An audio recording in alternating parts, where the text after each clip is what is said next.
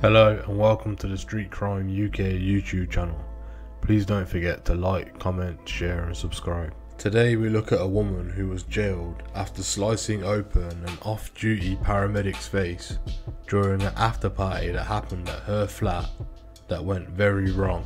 At the end of a four-day trial, Miss Emily Chew, who had been convicted of the charge, was unanimously convicted by a jury of assaulting Mr. Owen O'Flaherty with an intent to cause him serious, grievous bodily harm. Having heard evidence from two expert witnesses who disagreed about how the great gaping wound was actually caused at Mr. O'Flaherty's face, the judge said he could not be certain that Miss Chew had used a piece of pottery as she suggested or in fact used a pocket knife as the prosecution had alleged. The forensic scientist overseeing the case, Dr. Derek James, told the Crown Court that he did not believe the injury was caused by a piece of pottery, as Ms. Chew had claimed. The judge, recorder Edward Burgess QC, said, I am not satisfied beyond reasonable doubt that Miss Chew used a knife but I will sentence her on the basis that she did pick up a sharp piece of pottery and she used that to inflict the very serious, grievous harm that she intended. So the question is, what really happened that night? The jury of seven women and five men heard that Mr. O'Flaherty, who worked as a paramedic, had been out socialising that night with other colleagues who he had worked with in Cheltenham and although he had been there before, it was not a town he said he knew very well. Mr. O'Flaherty had, after a long night out drinking, somehow became detached from his original group of friends that he had gone out with that night, and accepted that over a course of that evening, he himself had gotten very drunk. In the early hours of the morning, Mr. O'Flaherty had, whilst walking about, eventually met Miss Chew and her group of friends, who were also out having a drink, both having no prior knowledge of knowing each other before that moment. Mr. Flaherty then went with the group he had met to a nearby McDonald's for food, and then at 6.38am, as shown on CCTV, the group then went to a nearby Nisa store where Mr. Flaherty had brought a bottle of rum a bottle of coke, and a pack of cigarettes.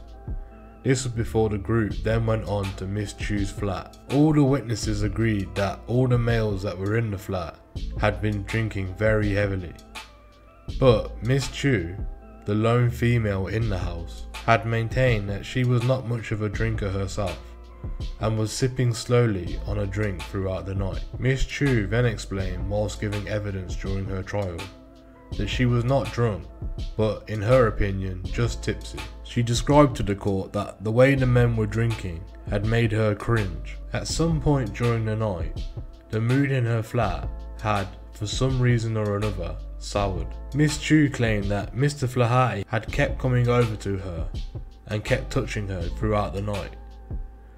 I told him five times, you need to stop touching me, Miss Chew explained whilst giving evidence. Miss Chew then claimed that the final straw was when Mr. Flaherty had touched her in her inner thigh. This was something that Mr. Flaherty disputed, and he said it was something he would never do.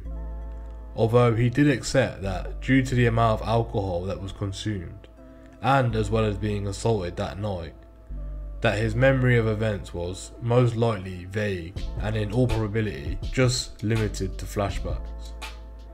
It was established that Mr. Flaherty had left the flat. He said it was of his own accord after he had been punched.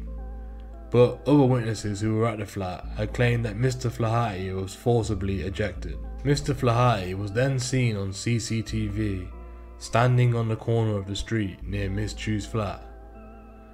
Mr. Flaherty has said he felt disorientated due to being punched, as well as all the alcohol he had consumed. This was as well as not knowing Cheltenham. CCTV footage then showed one of Miss Chew's friends striding towards Mr. Flaherty and punching him. The prosecutor, Janine Wood, told the jury that the group in Miss Chew's flat had taken offence to Mr. Flaherty when he would not leave the area, and were throwing items from the flat window towards him, such as eggs, plates, and cups. Mrs. Wood said that Miss Chew then shouted from the window, If you don't fuck off now, I'll come down and I'll do you. She was then described by others as absolutely raging. Miss Wood said, throwing eggs, smashing china plates, and other items. Five minutes later, Miss Chew is then seen striding towards Mr. Flaherty herself. Miss Wood said she then raises her right arm and has an item in her hand. She makes contact with his left cheek and strikes him. One of her friends who was at the party said that they saw Miss Chew return to the flat with a knife in her hand. However, Miss Chew maintained that she had picked up a piece of pottery from the floor and she had done this to harden her punch. I am not going to tell you falsely, she said. I took about three, four steps. I saw it and I picked it up.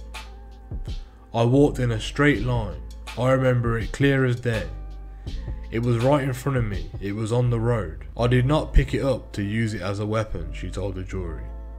I just thought in my head it might harden my punch. I went straight towards Mr. Flaherty and I punched him with this piece of pottery that I had in my hand, Miss Chew had said.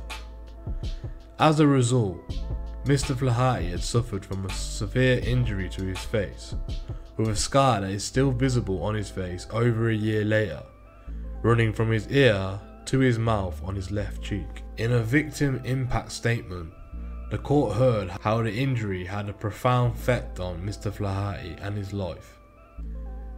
He said that it made his work as a paramedic even more difficult, and every day, every other client would ask him how he had that scar on his face, which made him relive the memory almost every day.